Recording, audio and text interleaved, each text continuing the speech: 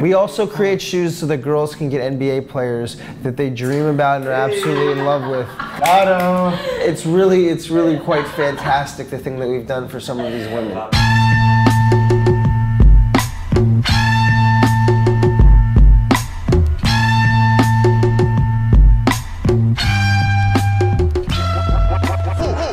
I'm Adam Goldston. And I'm Ryan Goldston, we're 28 year old twin brothers from Los Angeles, and we created Athletic Propulsion Labs.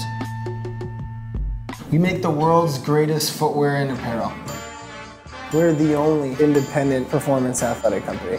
No one was waiting for another good looking product, and if you're trying to enter into the industry that we are, you can't simply just come in with good looking product.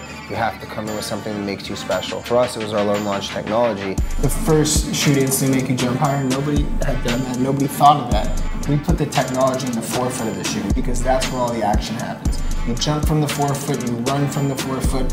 Everything that's explosive and that propels you upwards or forwards happens in the forefoot of the shoe. One of the things that's great about APL is that we have such a small team and that we're able to meet as a group collaboratively and make a decision on the fly.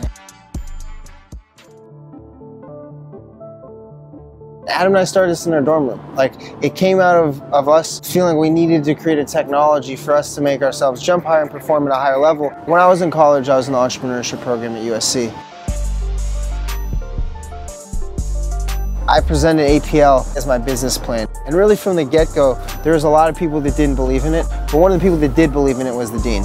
This is so far Since the first one. since the first one. Yeah. This, is, this is really cool. Evolution. When somebody says you can't do it, you guys have proven them wrong. Right from the get go, all the way through. That was really cool when all of a sudden the NBA says, no, no, no, we can't. This is not legal.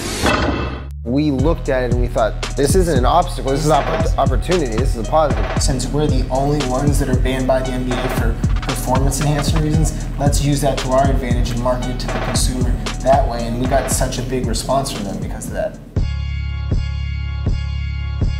We faced a lot of obstacles and we've turned it into opportunity. We've really created our own lane because of it. Everybody buys into the same goal here at APL. We all have to be on the same page. Everybody has the same beliefs on how we can build the brand and we'll build it going forward.